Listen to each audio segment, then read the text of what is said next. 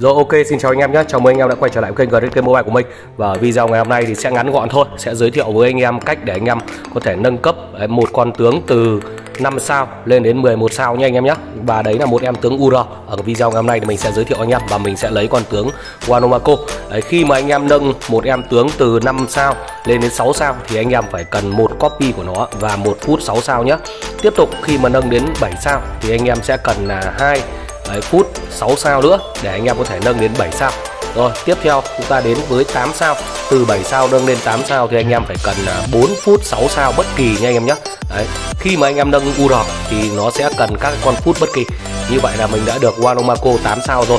Và tiếp theo để mà anh em nâng đến Wanomako lên đến 9 sao nhé thì anh em cần một phút 9 sao của một hệ bất kỳ và một copy đấy, của con tướng đó một copy 5 sao của con tướng đó nhé ok đấy, như vậy là đã được ờ, uh, 9 sao rồi. Khi mà anh em nâng đến 10 sao đấy, thì anh em cần là uh, hai copy 5 sao của con tướng đó này.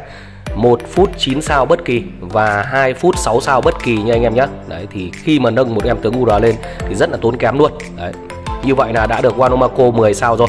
Và bây giờ để mà nâng từ 10 sao đấy, lên đến 11 sao thì anh em cần ở đây là 2 phút 9 sao bất kỳ và 1 phút 6 sao của bản thân con tướng đó nhé một copy 6 sao của bản thân con tướng đó. Bây giờ mình sẽ nâng um, cái ờ, phút 6 sao của Wanomako lên. Đấy.